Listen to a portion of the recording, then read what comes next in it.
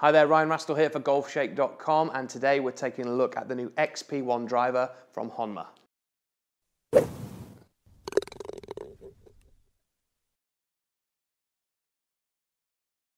So Honma, uh, many of you won't have even hit a Honma Golf Club before, but they are brilliant. And we're gonna try this new driver, XP1, as I've said.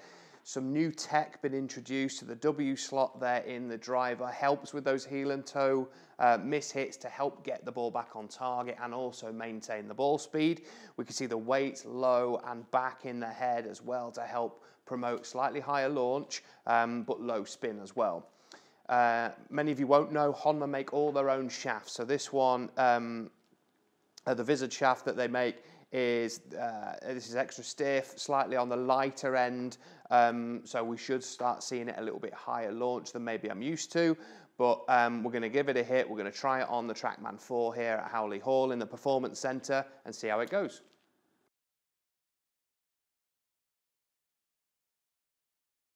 So sitting down beyond the ball, um, it's a bit more of a kind of triangular sort of shape than I'm used to.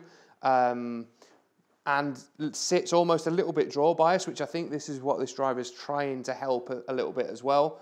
Um, but sits, sits really nicely behind the ball. I like the contrast between the face and the, the crown there as well.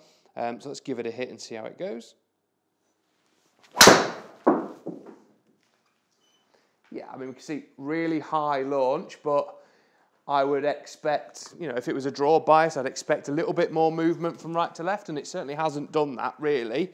If anything, it's just helped to um, to get the ball moving a little bit in the air for me. But we can see on that first hit, we've got a nice high launch.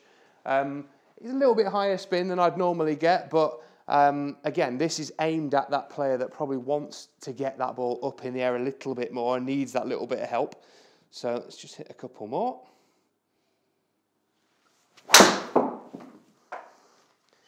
Mean, the ball speed off the face is really quick. We can see we've got one there, much lower spin. Hit that a little bit more out the middle of the face for a change.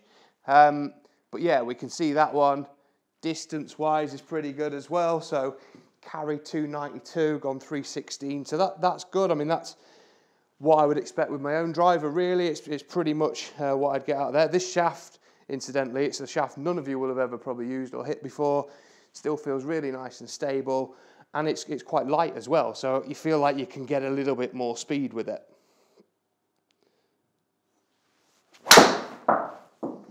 Certainly feels really good off the face, it's nice and solid. Um, the first one I hit a little bit out the toe and you could really feel that channel kind of trying to help that a little bit. Um, so even on those off-centre hits, we're getting decent ball speed and it's also going nice and straight as well, which is good. Um, so for that player who maybe wants to get, like I say, get the ball up in the air a little bit more, needs maybe a little bit more ball speed and maybe doesn't hit the middle of the face all the time, which I certainly don't, as you've seen by those three, um, this driver is certainly one to consider, have a look at. So that's the XP1 driver from Honma. Hope you enjoyed the video. If you're watching on YouTube and you haven't already done so, please hit that subscribe button down there as well.